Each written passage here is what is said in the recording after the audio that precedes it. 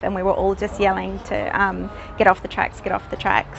I knew that I had to just get the number and get to control and stop the trains. I knew how dangerous it is on the tracks and you've got a lot of voltage going through the wires above. I know that she would have been shaken, very shaken. I mean, you can't not be shaken when you've jumped down on a track to save someone.